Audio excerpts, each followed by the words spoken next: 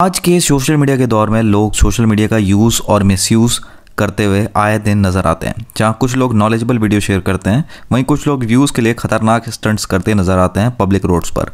Specially problem तब आती है जब ये स्टंट पब्लिक रोड पर किए जाते हैं। और इस तरह के स्टंट्स ना सिर्फ़ आम जनता करते नज़र आती है, बल्कि कई सारे ऐसे लोग भी जिनकी फॉलोइंग लाखों और मिलियंस में है। आज वापस एक ऐसा ही केस सामने आया चाहे एक social media influencer public road पर एक ऐसा स्टंट करते नज़र आए, जिसमें वो अपने साथ सड़क पर बाकी लोगों की जान खतरे में डालते नज़र आते हैं।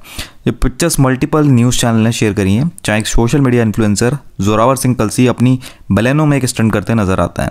यहाँ जोरावर उनके एक फ्रेंड शाहिद कपूर की वेब सीरीज़ फर्जी का एक सीन कॉपी करते नज़र आए हैं, जिसमें वो गाड़ी की डिक्की में बैठकर सड़क पर नोट उड़ाते नज़र आते हैं। यहाँ अच्छी बात यह रही कि पुलिस ने ये वीडियो खुद ही नोटिस किया और इमीडिएटली इस पर एक्शन भी लिया। ये video Gurgaon golf course road पर शूट किया गया था और पुलिस ने इमीडिएटली यूट्यूबर जोरावर और उनके फ्रेंड को अरेस्ट कर लिया।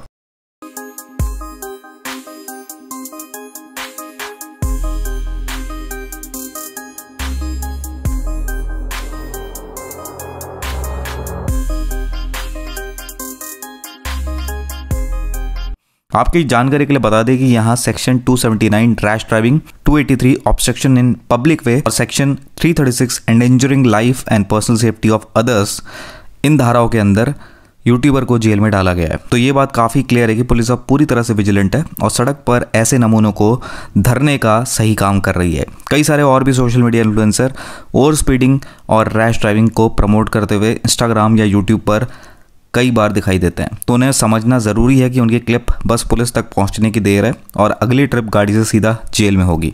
तो इस तरह के किसी भी एक्ट को आगे रिपोर्ट ज़रूर करें और ऐसी हरकतों को बिल्कुल भी प्रमोट ना करें। और अगर ऐसी कोई रील दिखाई दे जहाँ सड़क पर दूसरों की जान खतरे में डाली जा रही हो तो ट्रैफ़िक पुलिस को ट्विटर या इंस्टाग्राम पर टैग ज़रूर करें। कमेंट्स में से बताइएगा, आप क्या सोचना है इस पूरे इंसिडेंट्स के बारे में। चलता हूँ मैं, मिलूँगा आपसे जल्द ही एक नए वीडियो के साथ। Till the time this me signing off जय हिंद।